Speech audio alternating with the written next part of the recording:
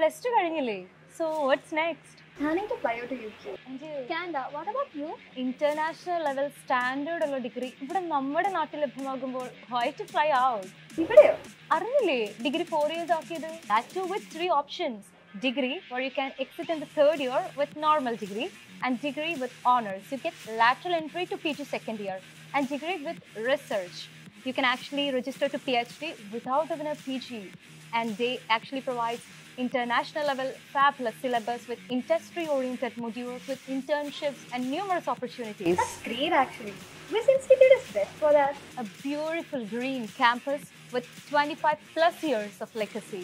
They have top academic results, merit scholarships, high placement assistance, and they also provide trendy add-on courses with skill-up trainings, advanced lab technologies, automated libraries. They have hostel facilities and Wi-Fi enabled campus.